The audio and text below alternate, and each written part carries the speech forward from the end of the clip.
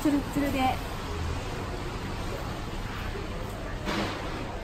ずっと髪が長かったのでまずショートにしようと思ったんですけどちょっと記念にちょっとスキンヘッドにも挑戦したいなと思ってツルツルにしに来ました。